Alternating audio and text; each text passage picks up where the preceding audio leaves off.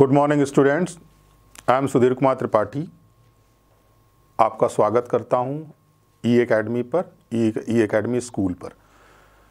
ये ninth class का lecture होगा और इस क्लास में आप लोगों को मैं बायोलॉजी का first chapter fundamental units of life जिसे हम सेल कहते हैं, वो हम स्टार्ट करने जा रहे हैं। इस चैप्टर को हम दो पार्ट में आपको अच्छे से समझाएँगे। तो ये पहला पार्ट है तो आइए सबसे पहले समझते हैं कि सेल क्या है। सेल को हम क्यों फंडामेंटल यूनिट ऑफ़ लाइफ कहते हैं? तो इस पूरे लेक्चर में हम क्या क्या पढ़ेंगे, सबसे पहले उस पर बात कर लेते हैं। तो देखिएगा ध्यान से। जैसा कि आपको दिख रहा होगा, the fundamental unit of life, what is the cell, types of cell, some facts about the cell, कोशिका क्या है इसके प्रकार और कुछ महत्वपूर्ण तथ्य। फिर इसके बाद कोशिका के अंदर क्या क्या होता है इसके बारे में हम आपसे चर्चा करेंगे। अब बात ये आती है कि आखिरकार हम सेल के बारे में क्यों पढ़ते हैं? देखिए, एक सिंपल सी बात को समझिएगा। जैसे एक मकान को बनाने में ईंटों की ज़रूरत होती है और छोटी छोटी ईंटों को जोड़ करके एक मकान तैयार हो जाता है। उसी तरीके से अगर हम मकान को अपना शरीर समझते हैं, बॉडी समझते हैं तो उस बॉडी में भी छोटी छोटी ईंटें जुड़ी होती हैं और उन्हीं ईंटों को हम लोग सेल या कोशिका के नाम से जानते हैं। और वही ईंटें एक दूसरे से जुड़ करके इस पूरे शरीर का निर्माण करती हैं। और आप लोगों को पता होना चाहिए, ये जो पूरा शरीर है, इस पूरे शरीर को बनाने में असंख्य कोशिकाएँ, यानी बहुत सारी कोशिकाएँ सेल हमारी बॉडी में मौजूद होती हैं। और आपको मालूम होना चाहिए हमारा जो ये स्ट्रक्चर दिख रहा है, इस पूरा स्ट्रक्चर दिख रहा है, इस स्ट्रक्चर को बनाने में सेल का बहुत ही इंपॉर्टेंट रोल होता है। इसके अलावा हम जो फ़ंक्शन करते हैं फ़ंक्शन का मतलब जो हमारा हाथों का मूवमेंट हो रहा है या जो हमारी बॉडी का मूवमेंट होता है every function and every structure of body made up from cell या ये कहा जा सकता है कि बॉडी में फंक्शनल और स्ट्रक्चरल जो भी होता है वह सेल के थ्रू होता है। इसीलिए आपको पता होगा, इसे हम कहते हैं cell is structural and functional unit of life. यानी कोशिका जीवन की संरचनात्मक एवं कार्यात्मक इकाई होती है। यानी कोशिका को हम संरचनात्मक एवं कार्यात्मक इकाई के नाम से भी जानते हैं। अब बात यह आती है कि आखिरकार सेल दिखती कैसी है।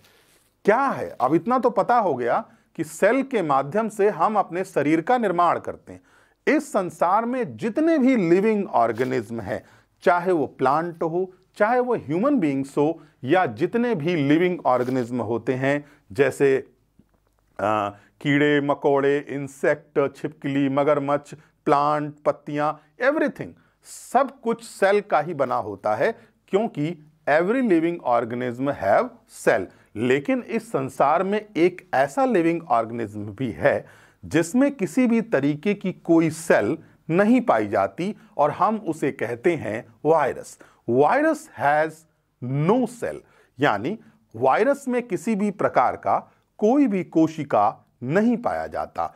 किस, यानी विषाणु जिसे आप कहते हैं, विषाणु में किसी भी प्रकार की कोई कोशिका नहीं पाई जाती. केवल उसमें जेनेटिक मटेरियल होता है जो उसको सरवाइव कराने में दूसरी सेल में मदद करता है। तो चलिए सबसे पहले आपको समझाते हैं कि आगे के चैप्टर में हम क्या पढ़ेंगे।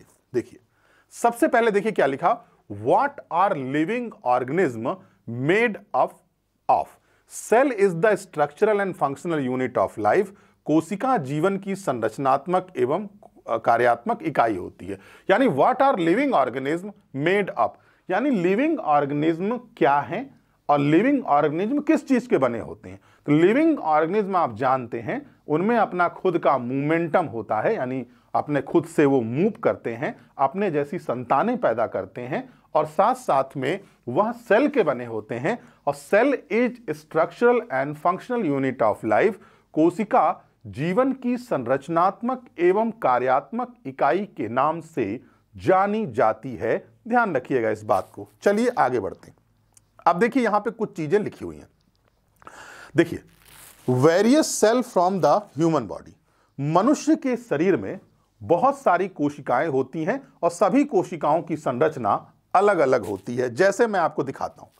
ये आपका ब्लड है। जस्ट सेकेंड हाँ ये देखिए, ये आपका ब्लड है। अब ये ब्लड की सेल देखिएगा, बहुत छोटी होती है। अगर मैं ह्यूमन बींग्स की बात करूँ तो ह्यूमन बींग्स में अगर मेल और फीमेल दोनों की बात करूँ तो सबसे छोटी सेल आपको यही मिलेगी। इसके अलावा आप देखिएगा, हमारे पेट में जो मसल्स होती है, वो सेल इस तरीके से दिखती है। इसके अलावा आपको मालूम होगा नर्वस सेल इस तरीके से दिखेगी। ये ये नर्वस सेल होता है, ये इस तरीके से यहाँ से जुड़ा होता है। इसे हम लोग नर्वस सेल के नाम से जानते हैं और आपको मालूम होना चाहिए nerve cell is a longest cell in human body. मनुष्य के शरीर में सबसे लंबी कोशिका कौन सी होती है? तो हम उसे कहते हैं नर्व सेल। ठीक है? इसके अलावा ये ओव्यूल है। ये ओव्यूल है। अगर मैं बात करता हूँ ह्यूमन बींग्स की बॉडी में सबसे बड़ी कोशिका, यानी सबसे लार्जेस्ट सेल कौन सी है तो हम उसे कहते हैं ओव्यूल। ध्यान रखिएगा। और जो हमारी हड्डियाँ होती हैं, वह आपके सामने है और ये स्पर्म है और ये है आपका फैट सेल। फैट सेल का मतलब जो हमारी शरीर में फैट या वशा या तेल जमा होता है, उसे हम फैट सेल के नाम से जानते हैं। तो ध्यान रखिएगा, मनुष्य के शरीर में, बॉडी में, ह्यूमन बींग्स के बॉडी में जितना भी स्ट्रक्चर होता है, चाहे वो माउथ हो, बोन हो, स्टमक हो, स्पर्म हो, ओव्यूल्स हो, every body structure made up from cell and cell found in different structure यानी अलग अलग स्ट्रक्चर में पाई जाती है। आपके सामने है ब्लड का स्ट्रक्चर ऐसा होता है सेल का स्टोमक का ऐसा ओव्यूल ऐसा स्पर्म ऐसा बोन ये ये। तो और सुनिए, सबसे लंबी सेल मनुष्य के शरीर में कौन सी होती है? तो हम उसे नर्व सेल के नाम से जानते हैं। सबसे बड़ी सेल कौन सी होती है? सबसे लार्जेस्ट सेल ओव्यूल होती है, और सबसे छोटी सेल कौन सी होती है? तो हम उसे स्पर्म के नाम से जानते हैं। Sperm is smallest cell in human body यानी शुक्राणु मनुष्य के शरीर में सबसे छोटी कोशिका के रूप में पाई जाती है। ध्यान रखिएगा। अब देखिए, अब आपके सामने टाइप्स ऑफ़ सेल आता है। देखिए, ध्यान रखिएगा, इस संसार में सेल टू टाइप्स की होती है। देखो, कुछ ऐसे लिविंग ऑर्गेनिज्म होते हैं जो केवल सिंगल सेल के बने होते हैं और कुछ ऐसे होते हैं जो मल्टी सेल यानी कई सेल्स के बने होते हैं। जैसे हम अपनी बात करें तो हम लोग क्या हैं? हम कई सेल्स के बने हुए हैं। लेकिन अगर हम बैक्टीरिया की बात करें, लेकिन अगर हम अमीबा की बात करें, अगर हम माइकोप्लाज्मा की बात करें तो ये सब क्या होते हैं? केवल सिंगल सेल के बने होते हैं। और मालूम होना चाहिए, बैक्टीरिया हो या अमीबा हो, अगर ये, अगर इनका एक सेल खत्म हुआ तो इनकी लाइफ खत्म हो जाएगी। लेकिन अगर हमारा एक सेल खत्म हुआ या दस सेल खत्म हुआ तो फिर से वो रिकंस्ट्रक्ट होने का काम कर जाता है।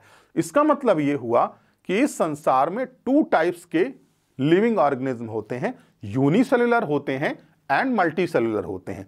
आपको पता होगा, जैसे घर में नाम किसी का चिंटू है और नाम स्कूल में रमेश होता है, उसी तरीके से मनुष्य के शरीर में यूनिसेलुलर को प्रोकैरियोटिक कहते हैं और मनुष्य के शरीर में नहीं अमीबा वगैरह, और हम लोगों के शरीर में यूकैरियोटिक होता है।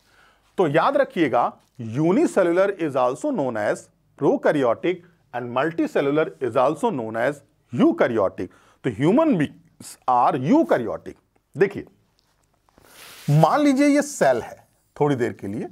अब इस सेल के अंदर अगर एक सेंटर हो, यानी जैसे आप लोग न्यूक्लियस कहते हैं अगर ये न्यूक्लियस है तो याद रखिएगा, ये जो आपके सामने न्यूक्लियस है, न्यूक्लियस अगर अपसेंट है तो ध्यान रखिएगा, वो प्रोकैरियोटिक सेल होगी और न्यूक्लियस अगर प्रेजेंट है तो वो यूकैरियोटिक सेल होगी। तो हमारे कहने का बहुत सिंपल मतलब और अर्थ है कि अगर प्रोकैरियोटिक है तो न्यूक्लियस अपसेंट होगा और अगर यूकैरियोटिक है तो न्यूक्लियस प्रेजेंट होगा। ये एक सिंपल सी बात है जो आपको समझ में आ गई होगी। अब देखिए, प्रोकैरियोटिक का साइज़ कितना होता है? ये माइक्रोमीटर में होता है, यानी बहुत छोटा। याद रख लीजिएगा, स्मॉल साइज़ है, one two ten micrometer, nucleus region,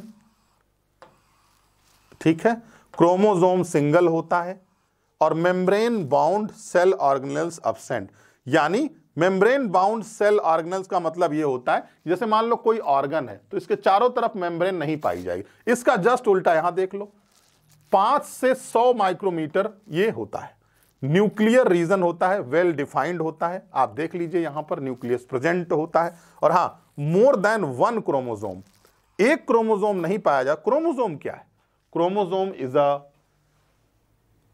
transfer agent from present generation to next generation, यानी एक एक शरीर से एक पीढ़ी से दूसरी पीढ़ी में जो कैरेक्टर ट्रांसफ़र होता है, उसी को ले जाने का काम कौन करता है? तो हम उसे क्रोमोजोम या गुणसूत्र के नाम से जानते हैं। याद रखिएगा। तो अब आपको यह समझ में आ गया होगा कि जो लिविंग ऑर्गेनिज्म केवल सिंगल सेल में होते हैं उन्हें हम प्रोकैरियोटिक कहते हैं और जो कई सेल में होते हैं, उन्हें हम यूकैरियोटिक के नाम से जानते हैं। प्रोकैरियोटिक में सेल प्रोकैरियोटिक में न्यूक्लियस अब्सेंट होगा और यूकैरियोटिक में न्यूक्लियस प्रेजेंट होगा। यह एक सिंपल सी बात है। दूसरा आपको बताता हूँ। आप लोगों को पता होना चाहिए साइज़ क्या होता है generally small one two ten micrometer और वन माइक्रोमीटर बराबर ten to the power minus six meter. इसी तरीके से आपके सामने ये सारी चीज़ें बनी हुई हैं। ध्यान रखिएगा इस बात को। आगे बढ़ते हैं। देखिए, ये आपके सामने एक सेल स्ट्रक्चर है। ये यूकैरियोटिक, इन सम यूकैरियोटिक है। वैसे ज़्यादातर देखा जाए तो ये आपके सामने प्रोकैरियोटिक वर्सेस यूकैरियोटिक है। देखिएगा, एनसीईआरटी में आपके बना भी हुआ होगा। देखो बेटा, यहाँ पर देखोगे ये कम डेवलप्ड सेल है। और यहाँ पर आप देखोगे ये अधिक डेवलप्ड सेल है। तो इस सेल को हम लोग कहते हैं सेल मेम्ब्रेन, और इसे हम यहाँ देखो राइबोसोम पाया जा रहा है, ये न्यूक्लियस हो रहा है, ये कैप्सूल जिसको हम कहते हैं सेलवॉल पाई जा रही है, फ्लैजिला, ये एक्चुअल में एक बैक्टीरिया का स्ट्रक्चर है, और ये आपके सामने एक प्लांट का स्ट्रक्चर है। देखिए, साइटोप्लाज्म है, मेम्ब्रेन है, इंडोप्लाज्मिक राइबोसोम अच्छा। अब एक बात बताओ हमारे शरीर में हाथ, पैर क्या है? बॉडी है बॉडी में ये हाथ, पैर ऑर्गन है। तो ये सब क्या हुए? इसे हम लोग बॉडी ऑर्गन के नाम से जानते हैं। यानी इसे हम लोग बॉडी ऑर्गन कहते हैं। अब आप ये कहोगे कि, सर, इसे हम बॉडी ऑर्गन कहते हैं। तो आखिरकार ये भी तो पार्ट है इसके। इसीलिए तो कहा जाता है कि ये सेल ऑर्गन है, कोशिकांग के नाम से जाने जाते हैं। इसे हम, देखो साइटोप्लाज्मिक मेम्ब्रेन यानी चारों तरफ़ सेल के जो मेम्ब्रेन होती है, उसे हम लोग झिल्ली कहते हैं।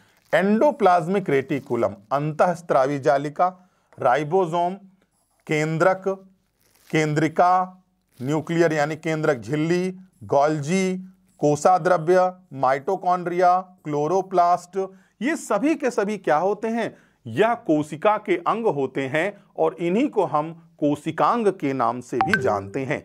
यहाँ तक क्लियर हो गया। तो मनुष्य के शरीर में मल्टी सेलुलर मनुष्य का शरीर मल्टी सेलुलर होता है बहुकोशिकीय होता है, ध्यान रखिएगा। और हम इसे यूनिसेलुलर कहते हैं, यानी इसमें कुल एक केंद्रक पाया जाता है और इससे ज़्यादा कुछ नहीं पाया जाता। ध्यान रखिएगा इस बात को। चलिए आगे बढ़ते हैं। देखिए, जो चीज़ें अभी मैंने आपको बताई हैं, वही चीज़ें यहाँ पे लिखी हुई हैं। देखिए ध्यान से। सबसे छोटी प्रोकैरियोटिक कौन है? माइकोप्लाज्मा। लार्जेस्ट प्रोकैरियोटिक क्या है? Ostrich egg. आपको हमेशा याद रखना होगा, जितने भी इस संसार में अंडे होते हैं, चाहे वो इतना बड़ा अंडा हो और चाहे वो इतना बड़ा अंडा हो, सारे अंडे एक कोष की होते हैं, सारे अंडे प्रोकैरियोटिक होते हैं। ध्यान रखिएगा, ठीक है? अच्छा longest cell in human body neuron जिसको कहा जाता है। Largest cell in human body, ovule है। Smallest cell in human body, sperm है। यानी सबसे छोटा प्रोकैरियोटिक माइकोप्लाज्मा है। सबसे बड़ा प्रोकैरियोटिक शुतुरमुर्ग का अंडा माना जाता है और मनुष्य के शरीर में सबसे लंबी कोशिका न्यूरॉन, सबसे बड़ी कोशिका अंडाणु और सबसे छोटी कोशिका शुक्राणु के नाम से जानी जाती है। यहाँ आपको कुछ भी समझना नहीं है, बस आपको याद करना है कि ये चीज़ ऐसे होता है। चलिए, अब देखिए, आप लोगों को शायद मालूम होगा, मैं बता देता हूँ कि मान लीजिए एक हाथी है और मान लीजिए मैं हूँ और एक चींटी है।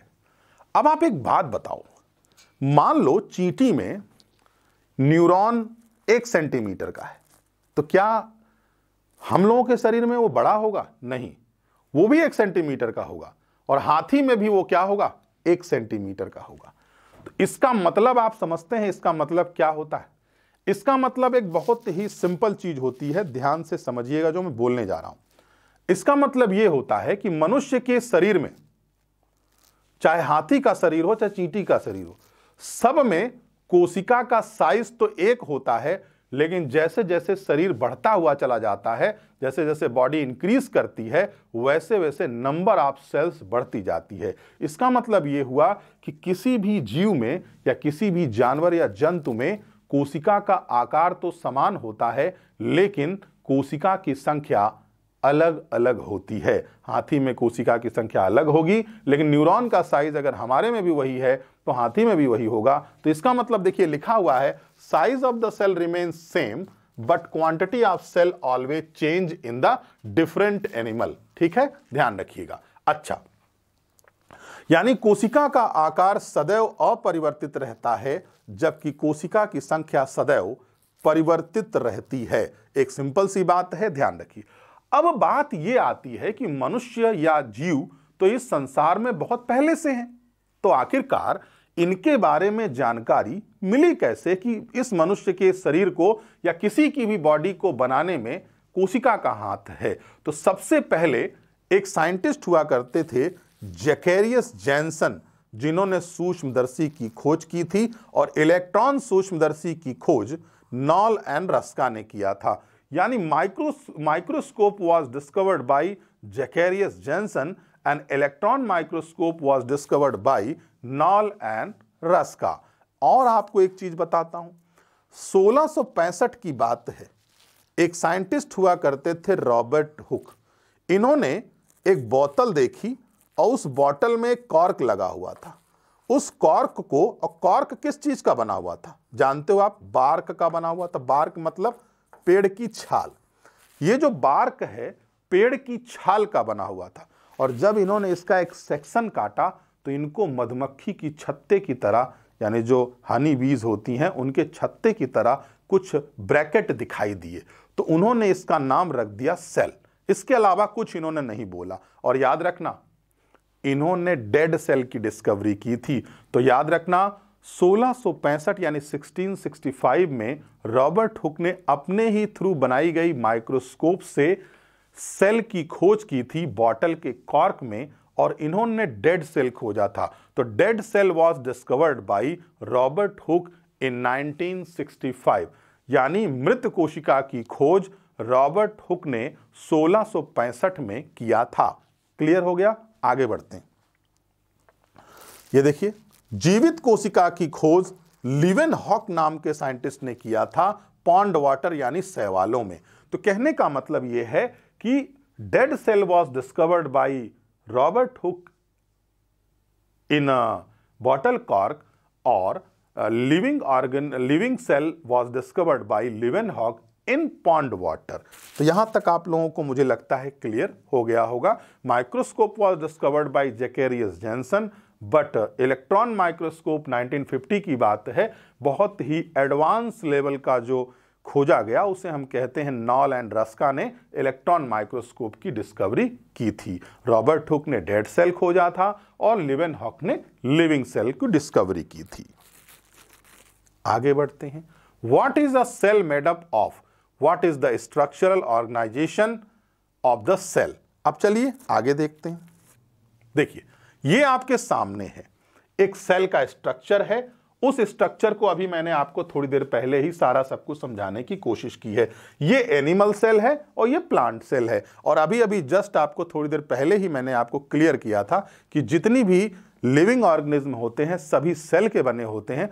बस सेल का स्ट्रक्चर थोड़ा बहुत अलग होता है। क्योंकि हम अपना फ़ूड नहीं बना सकते, इसीलिए हमारे अंदर क्लोरोप्लास्ट नहीं होगा, लेकिन प्लांट अपना फ़ूड खुद बना सकते हैं, इसीलिए उनमें क्लोरोप्लास्ट होता है, हरित लवक होता है। तो कुछ चीज़ें प्लांट में होती हैं, ह्यूमन बींग्स में नहीं होती हैं, और कुछ चीज़ें ह्यूमन बींग्स में होती हैं, सेल में, प्लांट्स में नहीं होती। तो बहुत सारे अंतर होते हैं, और ये जितने भी नाम लिखे हुए हैं इन्हें हम सेल ऑर्गन्स कहते हैं, क्योंकि सेल के अंदर पाया जाने वाला सेल ऑर्गन कहलाता है और बॉडी के अंदर पाया जाने वाला बॉडी ऑर्गन कहलाता है। ये एक सिंपल सी बात है। तो आइए इन्हीं सब की चर्चा आगे की ओर भी करते हैं हम लोग।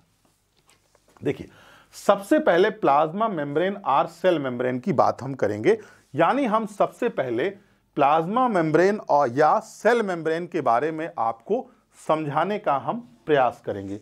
तो आइए आपको समझाते हैं plasma membrane and cell membrane. देखिए, cell wall and cell membrane both are found in plant cell. कहने का मतलब यह है कि अगर मैं पौधों की बात करूँ तो ये जो इससे पहले वाला स्ट्रक्चर देखिए, ये देखिए। अगर मैं प्लांट की बात करूँ तो प्लांट की अगर मैं बात करता हूँ तो ये बाहर वाला जो सेल वॉल है और जो सेल मेम्ब्रेन यहाँ दो देख लीजिए आप, दो दिख रहा होगा। एक ये दिख रहा है, एक ये दिख रहा है। तो cell wall and cell membrane कोशिका भित्ति व झिल्ली दोनों कहाँ पाई जाती है? प्लांट सेल में। लेकिन प्लांट और एनिमल सेल में सबसे बड़ा डिफरेंस क्या है? प्लांट और एनिमल सेल में जो सबसे बड़ा डिफरेंस है, वह डिफरेंस होता है सेल वॉल का। Cell wall absent in animal cell but cell wall present in plant cell और एनिमल सेल में केवल जो बाहरी वॉल होती है, वह सेल मेम्ब्रेन पाई जाती है। तो आइए आगे देखते हैं। देखिए, यहाँ पे आपके सामने बना भी हुआ है, आप समझ गए होंगे। Only cell membrane found in animal cell plant cell is made up from cellulose पौधों की कोशिका सेलुलोज की बनी होती है, यानी पादप कोशिका सेलुलोज की बनी होती है। Cell membrane are made up from phospholipid and protein, यानी कोशिका झिल्ली फास्फोलिपिड और प्रोटीन की बनी होती है। कोशिका झिल्ली फास्फोलिपिड और प्रोटीन की बनी होती है। ध्यान रखिएगा इस बात को। और पौधों की कोशिका, किस चीज़ की कोशिका भित्ति किस चीज़ की बनी होती है? तो सेलुलोज की बनी होती है। अब देखिए, bacterial cell wall made up from chitin, यानी जो बैक्टीरिया की सेलवाल होती है, वह काइटिन की बनी होती है प्लांट की सेलवाल जो है वो किस चीज़ की बनी होती है? ध्यान रखिएगा सेलोस की। और एनिमल सेल में किसी भी तरीके का कोई भी सेलवॉल नहीं पाया जाता है और cell membrane made up from phospholipid and protein. Clear हो गया? Basic difference in between plant cell and animal cell is cell wall cell wall present in plant cell, but cell membrane cell wall absent in animal cell. एक बहुत simple सी बात है जो समझ में आ गई होगी आपको। अब आइए बात करते हैं क्लोरोप्लास्ट की। तो chloroplast only found in plant cell यानी पौधों की कोशिकाओं में ही क्लोरोप्लास्ट पाया जाता है और किसी भी की कोशिका में क्लोरोप्लास्ट नहीं पाया जाता है। ध्यान रखिएगा तो क्लोरोप्लास्ट केवल और केवल किसमें पाया जाएगा? तो ध्यान रखिएगा, chloroplast found in plant cell समझ में आ गई बात? ध्यान रखिए। चलिए आगे बढ़ते क्लोरोप्लास्ट की खोज किसने किया था? एक्सपेंचर तो क्लोरोप्लास्ट की खोज इस चिंपर महोदय ने किया था। क्लोरोप्लास्ट की खोज एक्सचिम्पर महोदय ने किया था। ध्यान रखिएगा। और जानते हैं? Light react of photosynthesis found in granum and dark reaction found in stroma. देखिए आपके सामने यहाँ पर एक स्ट्रक्चर बना हुआ है, ध्यान से देखिएगा। ये स्ट्रोमा है और ये ग्रेमा है। तो जानते हैं, जब पौधे अपना खाना खुद बनाते हैं तो वो एक प्रोसेस करते हैं, वो आप टेंथ में पढ़ेंगे ठीक से, उसे हम लोग कहते हैं फोटोसिंथेसिस और प्रकाश संश्लेषण की जो क्रिया होती है, उस प्रकाश संश्लेषण की जो क्रिया है वह दिन और रात दोनों में होती है। जब दिन में होगी तो हम उस क्रिया को कहेंगे ग्रेनम में हो रही है, और जब वह रात में होगी तो हम उसे कहेंगे स्ट्रोमा में हो रही है। ग्रेनम और स्ट्रोमा दोनों के दोनों क्लोरोप्लास्ट के पार्ट हैं, ये हमेशा याद रखिएगा। आगे बढ़ते हैं। Chloroplast also known as kitchen of the cell chloroplast को हम कोशिका का किचन भी कहते हैं। आपको पता होना चाहिए, क्लोरोप्लास्ट को हम किचन क्यों कहते हैं? क्योंकि आपको पता होगा, खाना यही बनता है और खाना कहीं भी नहीं बनता है। यानी क्लोरोप्लास्ट के भीतर ही खाना बनता है और कहीं भी खाना नहीं बनता। इसीलिए कहा जाता है क्या? Chloroplast is kitchen of the cell. Colourful part due to chloro, chromoplast and colourless part due to leucoplast तो ये सब चीज़ें आपको जानना होगा। ये पी पीडीएफ हम आपको अवेलेबल करवा देंगे ताकि आप अच्छे से इसको समझ जाइएगा। अगला चलते हैं राइबोसोम देखिए। सारे के सारे सेल ऑर्गन हैं, उनको एक एक करके मैं डिफाइन कर रहा हूँ यहाँ पर। देखिए, इस, जैसे वहाँ पर क्लोरोप्लास्ट की खोज किसने किया इस चिंपर ने किया था। तो वैसे ही ribosome was discovered by Palade और एस का मतलब होता है यहाँ पर सेडबर्ग यूनिट क्या होता है? सेडबर्ग यूनिट और protein synthesised by ribosome protein का संश्लेषण राइबोसोम के द्वारा होता है। देखो, मनुष्य के शरीर में 22 तरीके के प्रोटीन पाए जाते हैं 11 उसके शरीर में ही बन जाते हैं और 11 वह आउटसोर्स करता है। ध्यान रखिएगा। तो प्रोटीन बनाने का काम राइबोसोम का होता है, खाना बनाने का काम क्लोरोप्लास्ट का होता है, ध्यान रखिएगा। और ribosome is also known as protein factory of the cell जैसे chloroplast kitchen of the cell वैसे ही protein factory of the cell किसको माना जाता है? तो याद रखिएगा protein factory of the cell तो ये आपके सामने राइबोसोम है, ठीक है? देखो, ये दो तरीके के होते हैं। एक तो है एटीएस और एक होता है सेवेंटी और सुनो जो 80 होता है, वो हायर लिविंग ऑर्गेनिज्म यानी हम लोगों में पाया जाता है, और बैक्टीरिया वगैरह में क्या होता है? 70 एस पाया जाता है, और याद रखिएगा एस का मतलब होता है सेडबर्ग यूनिट इधर देखो। एक बड़ी यूनिट होगी, एक छोटी यूनिट होगी। तो अगर मान लीजिए हम 70 की बात करते हैं थोड़ी देर के लिए तो 70 में जो 60 वाला 50 वाला पोर्शन है, ये बड़ा वाला होगा, और ये 30 वाला, ये छोटा वाला होगा। इसी तरीके से दोनों मिल जाते हैं सेडिमेंट हो जाते हैं तो इसी को हम लोग बोलते हैं सेडबर्ग यूनिट के नाम से एस को जानते हैं। और ribosome is also known as protein factory of the cell और राइबोसोम में ही प्रोटीन का निर्माण होता है, इसीलिए हम इसे protein factory of the cell के नाम से जानते हैं। देखिए अगला ऑर्गन कौन सा है? अगला ऑर्गन है साइटोप्लाज्म एंड प्लोरोप्लास्ट देखो कोशा द्रव्य और जीव द्रव्य डिस्कवर्ड बाई पुरकिंजे इसकी खोज किसने किया था? तो ध्यान रखिएगा, इसकी खोज पुरकिंजे ने किया था। ठीक है? Cytoplasm is made up from mineral water and protein देखो साइटो मतलब cell study of cell is known as cytology ध्यान रखिएगा। ये एक बहुत बेसिक चीज़ है, ये आपको पता होनी चाहिए। ठीक है? अब देखो साइटो मतलब सेल प्लास्ट मतलब लिक्विड प्रोटो मतलब सेल प्लाज्म मतलब लिक्विड तो ध्यान रखिएगा, ये सारा का सारा क्या है? लिक्विड वाला पोर्शन है। और लिक्विड होगा तो डेफिनेटली वाटर होगा, वाटर में ही प्रोटीन होगा और उसी में मिनरल होगा। तो ये देखिए, ये जो लिक्विड वाला पोर्शन है ना, इसी को हम लोग साइटोप्लाज्म के नाम से जानते हैं। ध्यान रखिएगा। और सुनिए, अगर ये केंद्रक है तो इसके अंदर भी लिक्विड होगा। इसके अंदर का लिक्विड और अगर बाहर का लिक्विड मिल जाए तो हम उसे कहते हैं प्रोटोप्लाज्म। क्या बोलते हैं? प्रोटोप्लाज्म। और protoplasm is also known as physical base of the cell यानी प्रोटोप्लाज्म को हम कोशिका का भौतिक आधार भी कहते हैं। केंद्रक का द्रव्य और बाहर कोशिका का द्रव्य आपस में मिल जाए तो हम उसे क्या कहते हैं? हम उसे physical base of the cell के नाम से जानते हैं। और physical base of the cell is known as protoplasm यानी हम उसे प्रोटोप्लाज्म के नाम से भी जानते हैं। चलिए आगे बढ़ते हैं बेटा। चलिए, अब यह है वैक्यूअल्स वैक्यूअल्स जो खाली जगह होती है देखिए। और सुनिए, खाली जगह सबसे ज़्यादा प्लांट सेल में पाई जाती है। यानी सबसे ज़्यादा खाली जगह कहाँ होती है तो हम उसे प्लांट सेल के नाम से जानते हैं। मैक्सिमम खाली जगह कहाँ होती है प्लांट सेल में होती है। अब इधर देखिए ध्यान से हमारे पास।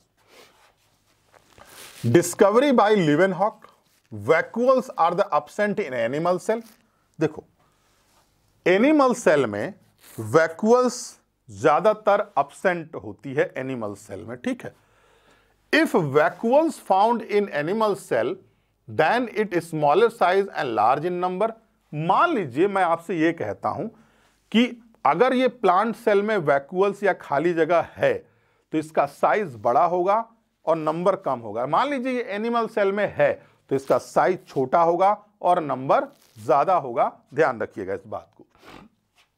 यानी in plant cell large in size small in number and याद रखिएगा xanthophyll pigment found in vacuole जिससे फ्लावर का कलर डिसाइड होता है। तो वैक्यूअल सेल के अंदर एक खाली जगह है यह हमेशा याद रखिएगा। देखिए, ये आपके सामने लाइसोसोम लाइसोसोम क्या है? लाइसोसोम की खोज किया था डी डुए नाम के साइंटिस्ट ने। लाइसोसोम को हम पाचक थैली या डाइजेस्टिव बैग कहते हैं, सुसाइडल बैग भी कहते हैं। क्यों कहते हैं?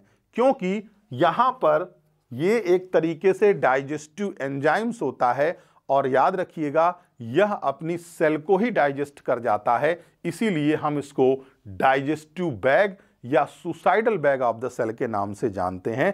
ध्यान रखिएगा तो याद रखिएगा, ये जो एंजाइम होते हैं, अगर ये फट जाएँ तो सेल के अंदर चले आएँगे और यह अपने सेल को ही डाइजेस्ट कर जाता है। और हाँ लाइसोसोम की संख्या सर्वाधिक लीवर में पाई जाती है। लीवर क्या करता है? अपनी सेल को ही डैमेज करता रहता है और बनाता रहता है, रिकंस्ट्रक्ट करने का काम करता रहता है। तो suicidal bag of the cell कौन है? तो याद रखिएगा, लाइसोसोम। देखिए, गोल्जी कॉम्प्लेक्स। गोल्जी कॉम्प्लेक्स भी जो है discovered by Camillo Golgi Golgi complex is also known as traffic inspector and transport manager of the cell क्योंकि यह आने जाने वालों को, यानी आने, जो भी मटेरियल आता है, जो भी मटेरियल जाता है, इन सबको कंट्रोल करने का काम किसका है? इसी का, और मैनेज करने का काम किसका है? इसी का। इसीलिए हम इसको transport manager and traffic inspector of the cell के नाम से भी जानते हैं। ठीक है? और याद रखना बेटा, आने जाने वालों को ट्रांसपोर्ट करता है, जो एसेंशियल चीज़ें हैं वो आती हैं और जो हानिकारक चीज़ें हैं वो जाती हैं। इसीलिए हम इसको क्या बोलते हैं? Transport manager of the cell के नाम से भी जानते हैं। ध्यान रखिएगा। तो बहुत सिंपल है, चीज़ें बस दो दो तीन तीन लाइन में आपको चीज़ें समझनी है। ध्यान रखिए।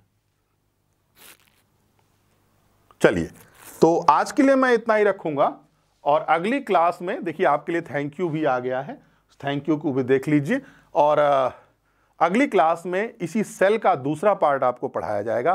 तब तक के लिए थैंक यू।